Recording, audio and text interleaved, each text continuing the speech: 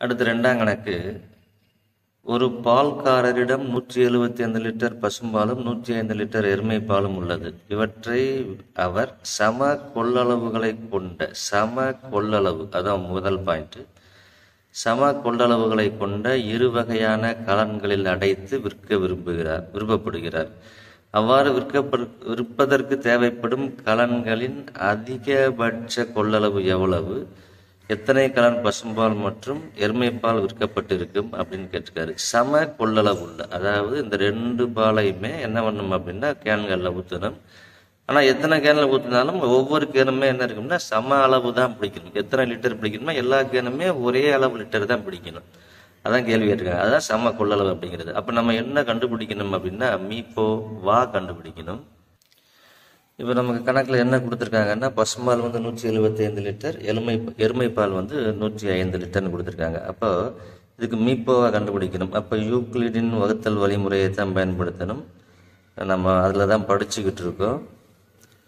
Euclidean வகுத்தல் வழிமுறையின்படி பெரிய நம்பரை தான் நம்ம வகுக்கணும். அப்போ நூற்றி எழுபத்தி அஞ்சு எதால் வகுக்கணும்னா நூற்றி அஞ்சால் வகுக்கணும். நூற்றி எழுபத்தி அஞ்சை நூற்றி அஞ்சால் வகுத்தா ஒரு நூற்றி அஞ்சு. அப்போது ஜீரோ ஏழு. அப்போ என்ன வரும்னா நூற்றி அஞ்சு இன்ட்டு ஒன்று ப்ளஸ் எழுபது எழுபது வந்து எழுபது நாட் ஈக்குவல் டு ஜீரோ மீதி ஜீரோ வரல.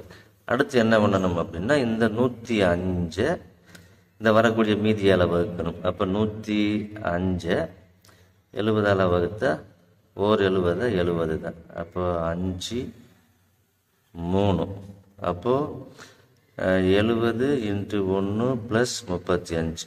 இப்போ முப்பத்தி அஞ்சு வந்து நாட் ஈக்குவல் டு ஜீரோ அடுத்து இந்த எழுபதை இதை தான் நம்ம வகுக்கணும். இந்த எழுபதை முப்பத்தி அஞ்சால். அப்போ எழுபது வகுத்தல் முப்பத்தஞ்சு ரெண்டு முப்பத்தஞ்சா எழுபது ஜீரோ அப்போது முப்பத்தி அஞ்சு இன்ட்டு ரெண்டு ப்ளஸ் ஜீரோ அப்போ மீதி நமக்கு என்ன வந்துருச்சு அப்படின்னா ஜீரோ. அப்போ இந்த முப்பத்தஞ்சு தான் நமக்கு என்னது அப்படின்னா மீ போவா. இந்த ரெண்டு ஒன்று ஒன்றுங்கிறது யூ. அப்போ மீ போவா சீக்வல் டு முப்பத்தி அஞ்சு. இதுதான் என்னதுன்னா ஒன்றாவது கலன்களின் அதிகபட்ச கொள்ளளவு. கலன்களின் அதிகபட்ச கொள்ளளவு சீக்வல் டு முப்பத்தி ஐந்து லிட்டர். இப்போது பசும்பாலுக்கு எத்தனை கலன் அப்படின்னு கேட்டிருக்காங்க. அப்போ பசும்பாலிற்கு தேவைப்படும்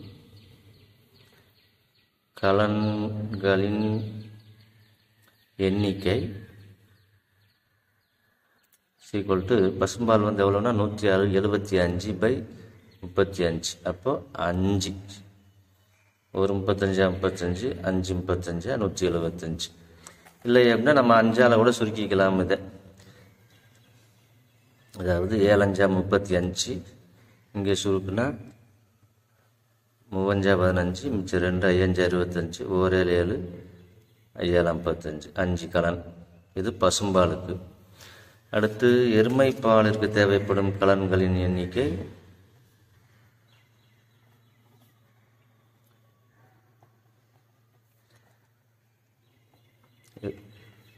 எண்ணிக்கை. எருமைப்பால் வந்து நூற்றி அஞ்சு லிட்ரு பை முப்பத்தி அஞ்சு. அதே தான் ஏழஞ்சா முப்பத்தஞ்சு ஈரஞ்சா பத்து ஓரஞ்சு அஞ்சு ஓரேழு ஏழு மூவேழு இருபத்தி ஒன்று அப்போ மூணு கலன் வேணும். எதுக்கு அப்படின்னா எருமைப்பாலுக்கு மூணு கலன் தேவைப்படுது.